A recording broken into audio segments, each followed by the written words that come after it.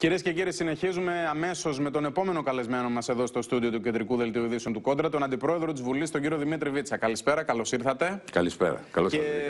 και εγώ. Ε, και πρώην Υπουργό Μεταναστευτικής Πολιτικής το λέω γιατί αυτή σας η ιδιότητα τούτες τις μέρες είναι λίγο πιο ε, μέσα στην επικαιρότητα, έτσι. Το μεταναστευτικό προσφυγικό είναι πάντα στην επικαιρότητα. Ε, η αλήθεια είναι ότι η ίδια η Ευρωπαϊκή Ένωση δεν έχει βρει την χρυσή τομή ή δεν ακολουθεί τη χρυσή τομή. Mm -hmm. Θα έλεγε κανένα ότι είναι το ζήτημα το οποίο διαιρεί την Ευρωπαϊκή Ένωση και αν θέλετε σε ορισμένες περιπτώσεις την ταρακουνάει. Δηλαδή στις ευρωεκλογές, με εξαίρεση στην Ελλάδα, ναι. ε, το, αυτό που συζητήθηκε περισσότερο στην Ευρώπη είναι το μεταναστευτικό. Με εξαίρεση στην Ελλάδα που δέχεται τις ισχυρότερες ναι. πιέσεις ναι, στο, ναι, ναι, στο θέμα, έτσι. Εντάξει, αυτό από μόνο του δείχνει ότι δεν υπήρχε, δεν υπήρχε ο λόγος για να γίνει αυτή η συζήτηση, δηλαδή υπήρχε μια αποτελεσματική διαχείριση και αυτό φαίνεται και από έναν άλλον έναν τρόπο. Η πιο αντιμεταναστευτική και ρατσιστική φωνή ήταν η Χρυσή Αυγή.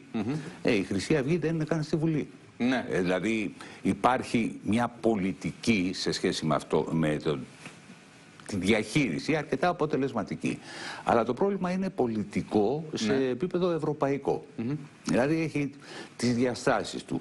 Τι θα κάνουμε στις χώρες από όπου ξεκινάνε προσφυγικές και μεταναστευτικές ροές, πώς θα βοηθήσουμε οι άνθρωποι να έχουν ζωή εκεί, πέρα από το γεγονός, κάποιοι θέλουν να μεταναστεύσουν και πώς μπορούν να διαμορφωθούν νόμιμες οδοί, ώστε ναι. να μην ε, ακολουθούν το δρόμο του θανάτου. Αυτό είναι το ένα.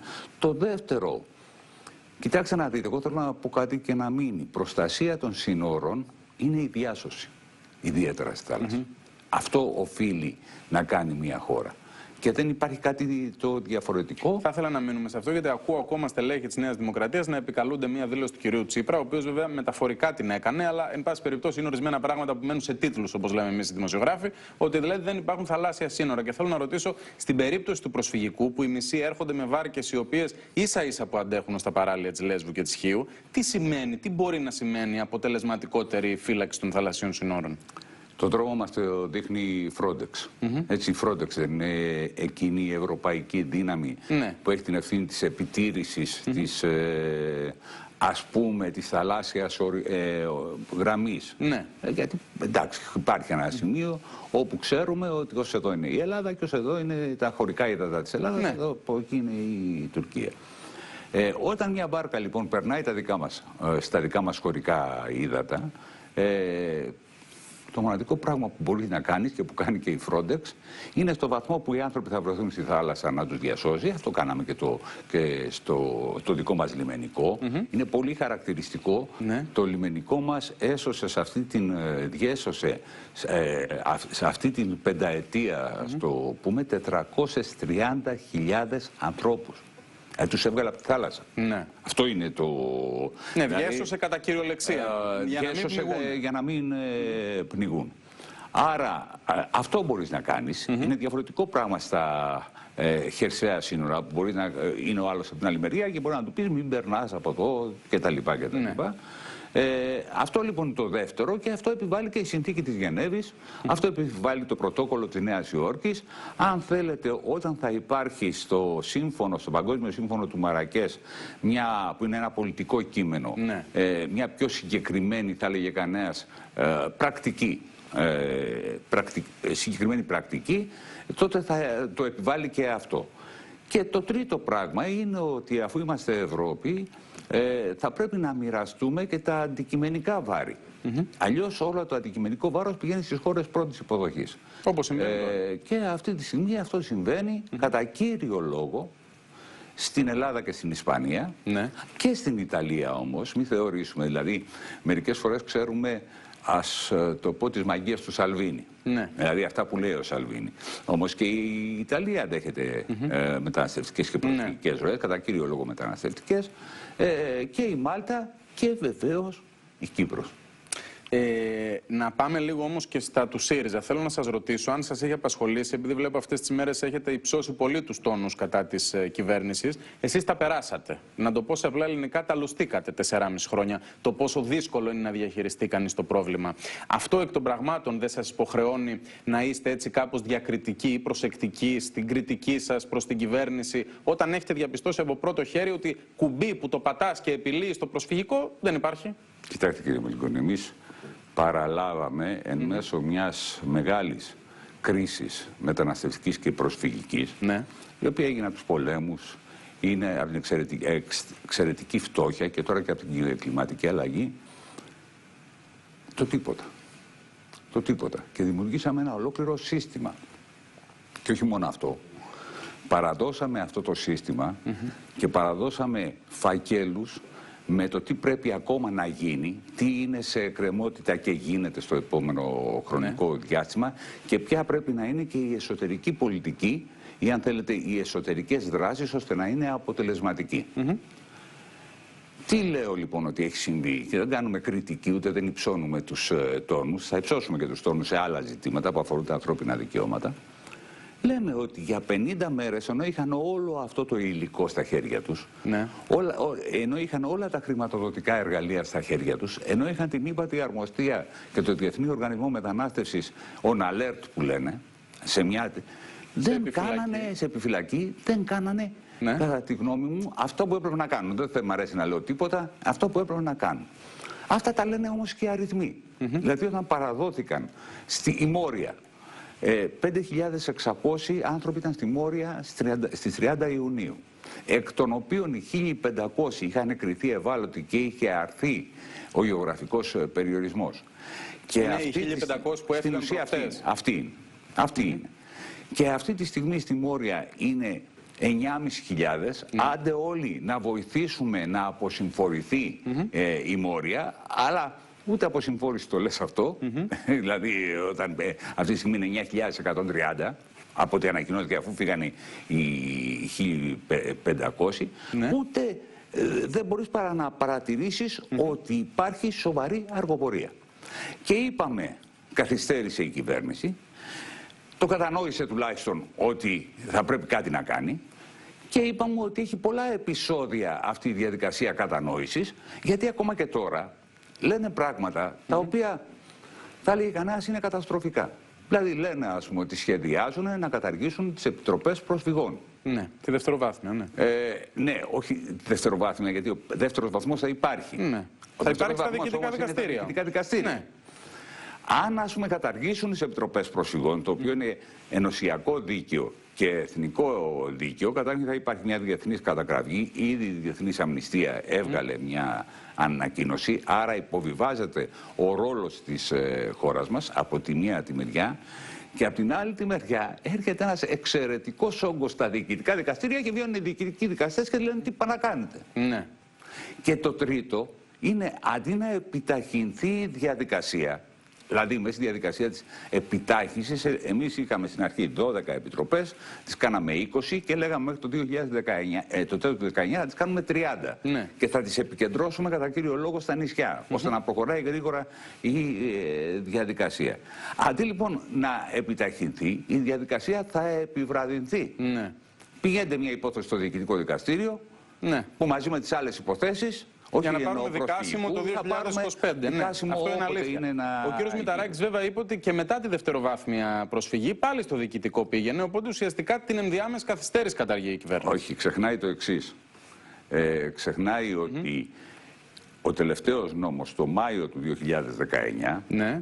έλεγε ότι η απόφαση της δευτεροβάθμιας ε, επιτροπής είναι τελεσίδικη.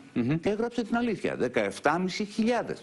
Να δούμε όμως και άλλα νούμερα που φέρνει η Νέα Δημοκρατία μπροστά για να πει ότι Ό,τι πάνω θέλει. κάτω παρέλαβε καμένη γη. Ακούω για παράδειγμα ότι στο Υπουργείο Μεταναστευτικής Πολιτικής είχατε αφήσει κενές τα δύο τρίτα των οργανικών θέσεων που δικαιούσασταν. Ακούω ότι οι επιστροφές στην Τουρκία από όταν συνομολογήθηκε η κοινή δήλωση με την Ευρωπαϊκή Ένωση ίσα που ξεπέρασαν τις χίλιες και άρα ήταν περίπου μια σταγόνα στον ωκεανό.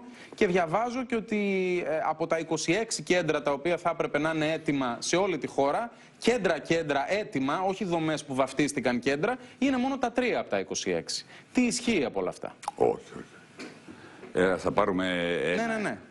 Πάμε ε, θέσει Υπουργείου. Ένα τρίτο έχουμε, πληρώσατε, δύο τρίτα έχουμε, αφήσατε κενά. Ε, Διευθύνσει μεταναστευτικής ε, δραστηριότητας υπήρχαν και επί Νέας Δημοκρατίας. Mm -hmm. Μην το ξεχνάμε. Ναι. Μόρια υπήρχε και επί Νέας Δημοκρατίας. Μόνο που ήταν μια μικρή δομή mm -hmm. που μπορούσε να εξυπηρετήσει 100 ανθρώπους. Ναι. Και οι παγανοί στην. Ε, ε, τα λοιπά. Εμείς λοιπόν αυξήσαμε τουλάχιστον κατά 800 συμβασιούχους και μόνιμους στο δημιουργώντας το Υπουργείο Μεταναστευτικής Πολιτικής.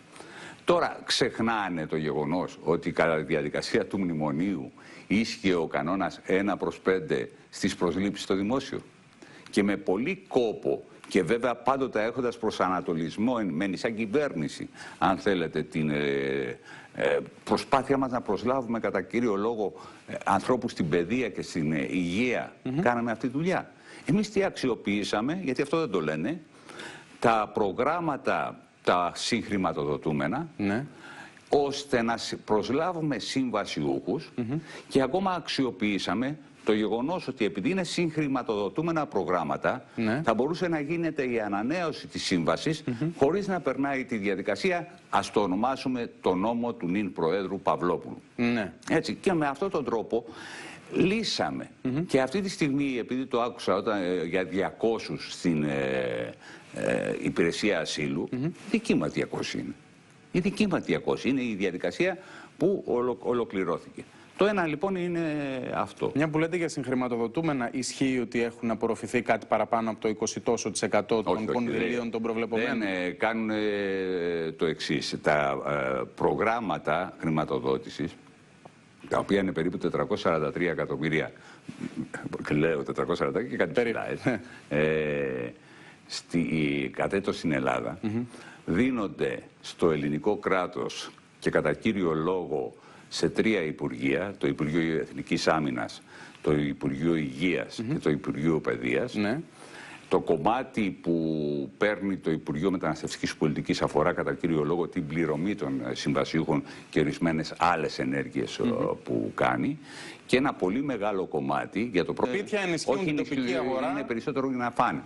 Έτσι αυτό είναι. Λέω ναι, και ναι. το βάουτερ. Ε, πηγαίνουν στην ύπατη αρμοστία. Ένα άλλο μεγάλο κομμάτι πηγαίνει στο Διεθνή Οργανισμό Μετανάστευσης. Αυτή τη στιγμή έχει σε ενέργεια, αλλά όλα αυτά συντονίζονται από το Υπουργείο Μεταναστευτικής Πολιτικής. Ναι. Ε, έχει ένα πρόγραμμα 8.000 κτλ. σε ξενοδοχεία και πάει λέγοντας. Τώρα να μην. Ναι, ναι, ναι. Τώρα, ε, το άλλο λάθος είναι το εξής. Αυτή τη στιγμή στην υπηρετική Ελλάδα ε, από ό,τι μου φαίνεται δεν ξέρουν ακριβώς τις δομές και ίσως κάποια στιγμή πρέπει να μας καλέσουν να τους πούμε εδώ, εδώ, εδώ, αν και υπάρχει ένα μπλιαράκι. Υπάρχουν 28 ε, κέντρα φιλοξενίας. Ναι. Τα τρία από αυτά τα διαχειρίζεται απευθείας το Υπουργείο Μεταναστευτικής Πολιτικής. Το ένα και ε, το διαχειρίζεται η ΥΠΑΤΗ Αρμοστία, ναι. το ένα το διαχειρίζεται ε, ο Διεθνής Οργανισμός Μετανάστευσης και τα άλλα 23 τα διαχειρίζεται το Υπουργείο Εθνικής Άμυνας στα συρτάρια τους, αλλά τους έχει παραδοθεί κιόλας. Υπάρχει σχέδιο νόμου ναι. για την υπηρεσία πρώτης υποδοχής και ταυτοποίησης, την ανασυγκρότησή της, που μέσα σε αυτό το νόμο περιγράφεται και η διαδικασία που αυτά που έχει το Υπουργείο Εθνικής Άμυνας περνάνε το αργότερο μέχρι τις αρχές του 2020 στην ευθύνη του Υπουργείου Μεταναστευτικής Πολιτικής. Ναι. Άρα, ε, πώς είναι τρία; Mm Είναι... Οι επιστροφές ήταν μόλις χίλιες προς την Τουρκία; Ε, κάτι παραπάνω, ήταν και κοντά στις 1500. Αλλά σας είπα ότι οι διαδικασίε της αναγκαστικής επιστροφής, το οποίο είναι επιλογή. Έτσι, δεν είναι εύκολη η διαδικασία, αυτό θέλω να πω με την λέξη επιλογή. Σημαίνει ότι πρέπει να έχει τελειώσει όλη η διαδικασία, η νομική διαδικασία, ναι. να έχει απορριφθεί σε πρώτο και δεύτερο βαθμό το άσυλο, ε, να έχει δεχτεί η Τουρκία ότι θα τους πάρει αυτούς για να πάνε. Και βεβαίως μπορεί να αυτή η διαδικασία να έχει πάει και στα διοικητικά δικαστήρια. Ναι. Αυτό συμβαίνει παντού. Έχω εξηγήσει ότι είναι πάρα πολύ δύσκολη η διαδικασία. Ναι. Και αυτό συμβαίνει όχι μόνο στην Ελλάδα, συμβαίνει και στη Γερμανία. Συμβαίνει... Η Ιταλία, ας πούμε, δεν έχει επιστρέψει ποτέ κανέναν. Λέω ένα παράδειγμα, συμβαίνει στη Γαλλία, συμβαίνει παντού. Ε, στη Γερμανία, όπου κρεμούν περίπου 700.000 υποθέσεις Ναι. ε, στα δικαστήριά τους σε σχέση με αυτό, τα μεγάλο πρόβλημα που έχει η Νορβηγία και δε, τα λοιπά. Άρα, γι' αυτό λέω ότι να κρατήσουμε το επιτυχημένο πρόγραμμα επιστροφών, είναι η οικειοθελής Η οικειοθελής, επιστροφής, προτείναμε μέσω του νόμου οι οικειοθεωλείς επιστροφές να είναι και αφού έχει υπάρξει η πρώτη απόρριψη, αυτό ήταν το. Εμείς θέλαμε στην αρχή να κάνουμε και το λύση επιστροφές πριν υπάρξει η εξέταση, ώστε ο άλλος να γυρνάει γρήγορα πε- πίσω. Αυτό είναι το πρώτο πρόβλημα. Το δεύτερο μεγάλο πρόβλημα που έχουν να αντιμετωπίσουν και τους εύχομαι καλή τύχη και αν θέλετε και τη δικιά μου βοήθεια αν ε, θέλουν και των ανθρώπων που ξέρουν, αλλά πήγαν και καταργήσαν το Υπουργείο Μεταναστευτικής Πολιτικής, διαλύσανε τη διεύθυνση ε, μεταναστευτικής πολιτικής μόνο και μόνο για να διώξουν τον Γενικό Γραμματέα, ο οποίος είχε περάσει και από το ΑΣΕΠ. Τέλος πάντων, λέω λοιπόν, το δεύτερο προγρα- ε, μεγάλο πρόβλημα είναι το επίπεδο συνεργασίας με τρίτες χώρες. Τρίτες χώρες είναι το Πακιστάν, είναι το Αφγανιστάν, είναι το Ιράν και Πρόγραμμα τα λοιπά. συνεργασίας για την επανεισδοχή. Πάλι, προφανώς. που, ναι, Ναι. πολλές φορές δεν λειτουργεί. Δεν λειτουργεί. είναι αλήθεια και το έχετε Σας πει πολλές λέω, φορές, ναι. τα- ε, ναι, το έχω πει πάρα πολλές, πολλές φορές. Άρα αυτό, αν θέλετε, είναι ένα πολύ μεγάλο κομμάτι ε, στο οποίο δεν μπορεί να κρύψει την καθυστέρηση. Τώρα, κάθε φορά που έπεφταν τα φώτα της δημοσιότητας στο μεταναστευτικό παύλα προσφυγικό ε, και κάθε φορά που είχαμε και στην ενδοχώρα μεταφορές, ε, εκδηλώνονταν αντιδράσεις. Στα νησιά η τοπική κοινωνία και, και- όχι το, Σχεδόν περισσότερο οι δήμαρχοι παρά η τοπική κοινωνία εδώ που τα λέμε, ε, αλλά και ε, μέρη ε, της ε, Βόρειας Ελλάδας ειδικά, υπήρχε θέμα. Τώρα βλέπουμε ότι σαν να μην συμβαίνει τίποτα. Αυτό θέλω να σας ρωτήσω αν έχει να κάνει με το ότι πλέον δεν κυβερνά ο ΣΥΡΙΖΑ και αν αυτό, για να το προεκτείνω κιόλας, σημαίνει ότι ίσως να υποψιάζεστε πως κάποιες από τις αντιδράσεις του προηγούμενου διαστήματος ήταν κομματάκι υποκινούμενες. Μακάρι που λένε, αλλά δυστυχώς υπάρχουν ακόμα. Δηλαδή, εγώ ξέρω και, την, και δεν με ευχαριστούν οι αντιδράσεις. Δεν με ευχαριστούν. Εγώ τη συμβουλή που θα έδινα είναι σχεδιάζουμε να κάνουμε κάτι. Ναι. Δεν υποχωρούμε εύκολα. Το συζητάμε με τους τοπικούς φορείς. Ξέρουμε ότι θα υπάρξουν αντιδράσεις. Εγώ έχω βρεθεί μπροστά και σε φωτιά με μεθυσμένους ανθρώπους, όχι δηλαδή και τα λοιπά, οι οποίοι κρατάγαν δίκανα. Για να μην περάσει ένα λεωφορείο. Τα έχουμε ζήσει δηλαδή αυτά τα πράγματα. Και μετά με αποφασιστικότητα πηγαίνουμε και το κάνουμε. Αυτό είναι το βασικό ζήτημα.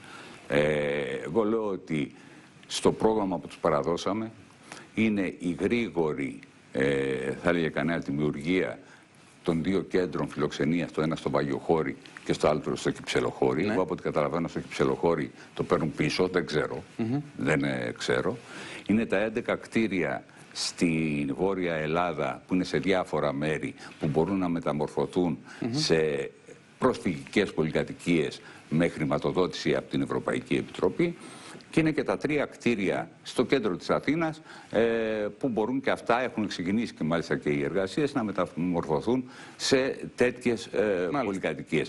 Αυτό θα είναι και ένα απόθεμα γης, θα έλεγε κανένας, που αυτή τη στιγμή δεν αξιοποιείται. Και αν μετά από χρόνια ε, έχουμε το, ε, την, ε, το ευχάριστο γεγονός να είναι πάρα πολύ μικρές οι ροές ή μηδενικές, μπορεί να χρησιμοποιηθούν και για άλλους λόγους. Μάλιστα. Ας πούμε, εμείς δεν έχουμε στην Αθήνα, ε, εκτός από μερικές περιπτώσεις του Δήμου Αθηναίων και του ε, ικανό χώρο για άτυχους στη ζωή ανθρώπους οι οποίοι για παράδειγμα βρίσκονται σε μια κατάσταση εξαθλίωσης. Το ίδιο πολύ περισσότερο στη Θεσσαλονίκη, στην Καβάλα και τα λοιπά. Στην Σάμο Κανονικά έπρεπε αυτές τις μέρες να παραδοθεί, από ό,τι γνωρίζω δεν έχει ε, ξεκινήσει αυτή η διαδικασία, ε, το νέο κέντρο υποδοχής και ταυτοποίησης και ο χώρος στο βαθύ που είναι το παλιό κέντρο υποδοχής και ταυτοποίησης θα έπρεπε να δοθεί στη νέα δημοτική αρχή. Έχω πολλά παραδείγματα να σας Ναι. πω σε σχέση με αυτό, να μην... Πολλά παραδείγματα με το χρόνο να πιέζει. Πάντως νομίζω κάναμε μια Ο αναλυτική χρόνος, συζήτηση ο επί του χρόνος θέματος. πιέζει στη διαχείριση, στην αποτελεσματική διαχείριση του προσφυγικού μεταναστευτικού. Και πρέπει να το καταλάβουν πάρα πολύ καλά ότι το σχέδιο που παραλάβανε με ναι και που είχε συμφωνηθεί και με την Ευρωπαϊκή Επιτροπή και την Ευρωπαϊκή Ένωση για τη διαχείρισή του είναι ένα καλό σχέδιο. Είναι ένα σχέδιο μέχρι το τέλος του 2020. Μάλιστα. Και έχουν μπροστά νέες δυσκολίες γιατί υπάρχει μια πραγματικότητα. Αυτή τη στιγμή εξαγγέλθηκε ότι 100.000 πρόσφυγες θα φύγουν από την Κωνσταντινούπολη για να οδηγηθούν Ναι. στην, ε, στην νότια πλευρά της Τουρκίας. Ξέρετε, αυτό δεν σημαίνει ότι αυτό θα γίνει. Το πιάσαμε το Δεν θέλω να, να, να, να, να, να δημιουργήσω κάποια φοβία. Ναι. Τώρα για το άλλο που είπατε, σας Και είπα... να κλείσουμε με αυτό, ναι. Σας είπα μακάρι. Αλλά πολλές φορές, οι, ε, όχι όλοι, όχι όλοι, εγώ συνεργάστηκα πάρα πολύ καλά με τον ε, Δήμαρχο Παιωνίας ε, το προηγούμενο χρονικό διάστημα ή με τον Δήμαρχο Πρεσπών και μια σειρά άλλους Ναι. ε, δημάρχους. Οι δήμαρχοι δημιουργούν ε, αντιστάσεις που φαντάζομαι με τον ένα ή τον άλλο τρόπο. Τότε εξηγούσα ότι βρε παιδιά δεν είναι μόνο επειδή οι άνθρωποι υποστηρίχθηκαν από τη Νέα Δημοκρατία. Είναι γιατί φοβούνται, οι πολλοί από αυτούς, μερικοί όμως το πιστεύουν κιόλας, Ναι. ξενοφοβικά ε, συνθήματα. Εύλογο. ή- ναι, αυτούς που φωνάζουν πολύ. Αλλά συνήθως αυτοί που φωνάζουν πολύ στο παζάρι έχουν το πιο σάπιο πράγμα να πουλήσουν. Κύριε Βίτσα, σας ευχαριστώ πάρα πολύ για αυτή τη Να είστε συζήτηση καλά. που είχαμε. Καλή συνέχεια. Σας ευχαριστώ πάρα πολύ.